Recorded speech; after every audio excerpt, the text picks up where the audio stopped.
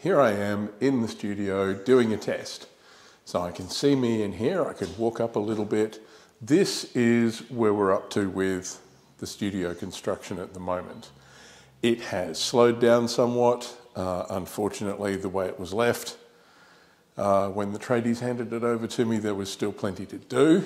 So I'm doing my best, but it's slow. I paid people to do this because I don't have the skills. Uh, so that is holding me back. I have bought a whole bunch of new tools. So I'm getting smarter every day. I look at stuff on YouTube and Google how to do the things I need to do. But it's slow progress.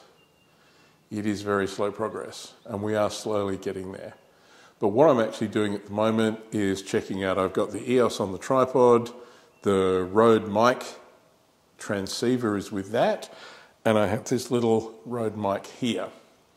So this is kind of a tech test to see. I'm on a spindly little tripod. I probably need a bigger and better tripod to make this work. And I've got the Canon M50 sitting up there. So I can't actually see very much. I've got the window, the side window of the camera open so that I can kind of see where I am. Hey, warm the crotch. So yeah, that's, you can see if I walk all the way back here, you should be able to hear that I'm still on mic because hopefully you're listening to this, the little Rode mic. But I've been sanding this stuff. I'm not quite happy with it yet. I'm not quite happy with it yet, but we'll get there. So yeah, I bought a hand sander to to do some of this stuff with. Yeah, slowly getting there. Um, so what's been holding things up? So the Gyprock's up. It had been filled. I think that's where the last update finished.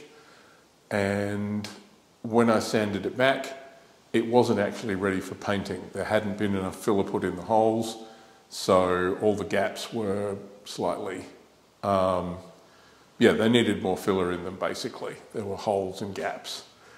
So I've done that, it's been two or three uh, goes of filling, sanding back, seeing what the problems are, filling again. I've got the walls to where I'm reasonably happy with them. It will not be perfect. Unfortunately, it very much won't be perfect. Uh, what I was doing this morning was actually up on the roof uh, doing the same process. So I'd sanded it all back, feathered all the edges. There were still visible grooves. It was nearly there. It needed one more run through. And then I ran out of jointing compound. So I used the very last of the jointing compound I had. So I went out and I bought some more. Um, and I've bought a sander, a little hand sander, so that I can do the, the timber around the uh, architraving.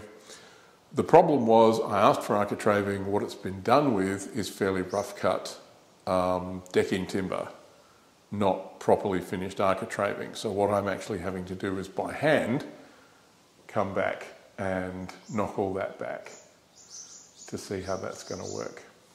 So I'm doing stuff that I don't have the skills for. It is taking me a lot longer than I was hoping it might. And there's been a lot of family problems. Um, my mother in law has dementia, and we're having to find a home for her. And my sister's having some problems, so I've been running back and forth to her. She's been in and out of hospital. So there has not been any time for fog of war, unfortunately. So between this and being elsewhere, looking after other people, uh, there, yeah, there's not been a lot of fog of war happening.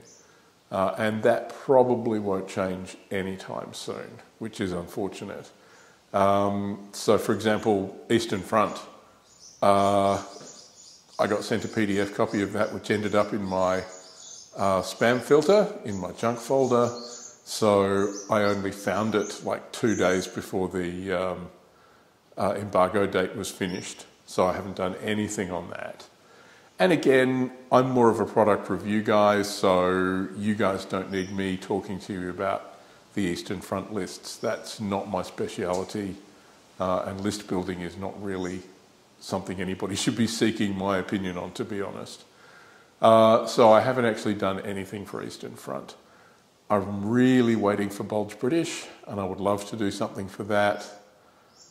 We'll see. I have no idea what shape uh, it's going to be with my sister and my mother-in-law and this and whatever. So we just, at the moment, we, we don't know. Um, so it'll be weird. I might end up having a studio and then not be making content for a while.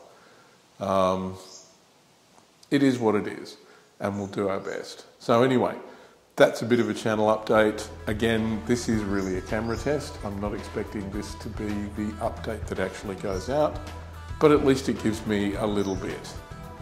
All right, happy gaming and I'll see you later.